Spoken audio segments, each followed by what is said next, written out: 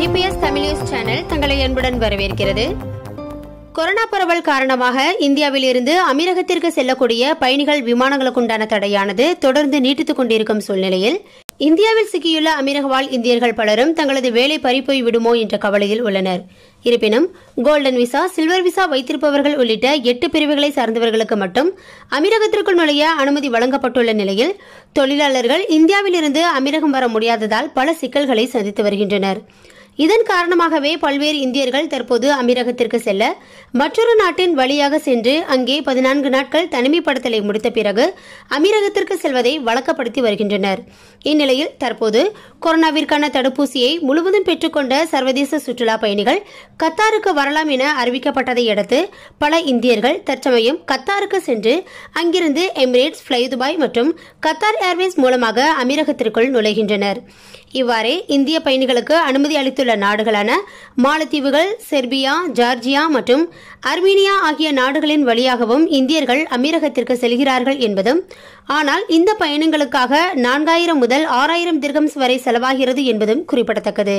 மேலும் இது குறித்து ஃபேர்வர் டூரிசம் நிறுவனத்தின் செய்தி தொடர்பாளர் கூறுகையில் இந்தியா மற்றும் அமீரகம் இடையே நேரடி விமான போக்குவரத்து தடை அமலில் உள்ளதால் மூன்றாம் நாடுகளின் வழியாக அமீரகத்திற்கு செல்ல நினைக்கும் இந்தியர்கள் பணம் செலுத்துவதற்கு முன்பு சரியான தகவல்களை கேட்டறிந்து கொள்ள வேண்டும் எனவும் ஒவ்வொரு விமான நிறுவனத்திற்கும் வழிமுறைகளானது மாறுபடுவதால் அனைவரும் கவனமாக இருக்க வேண்டும் எனவும் எச்சரித்துள்ளார்.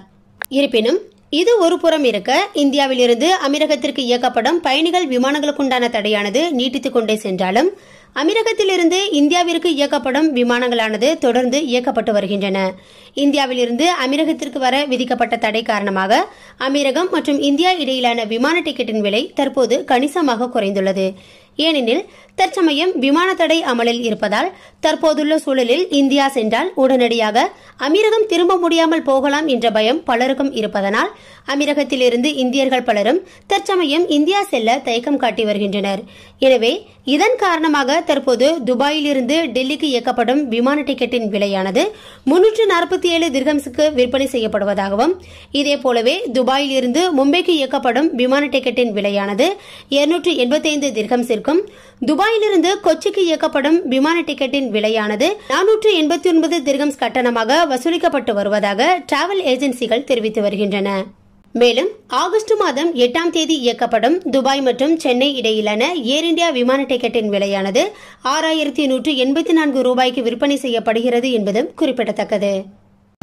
மேலும் இதுபோன்ற செய்திகளை உடனுக்குடன் தெரிந்து கொள்ள நமது ஜிபிஎஸ் தமிழ் சேனலை சப்ஸ்கிரைப் செய்து கொள்ளுங்கள். கூடவே பெல் பட்டனையும் கிளிக் செய்து கொள்ளுங்கள் நன்றி.